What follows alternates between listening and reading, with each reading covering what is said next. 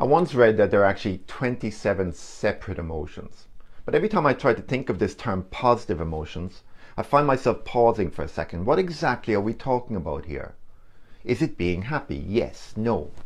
But it's a lot of things. It's compassion, gratitude, hope, awe, calm, amusement. These are all the positive emotions. And at the other end of the spectrum, there are the negative emotions. Things like sadness, anger, loneliness.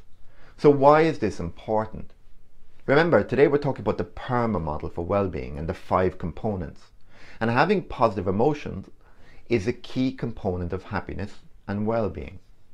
They help you become more resilient in your daily life and they combat those negative emotions. So if I were to list all the ways to enhance your positive emotions, we could be here all day and then some.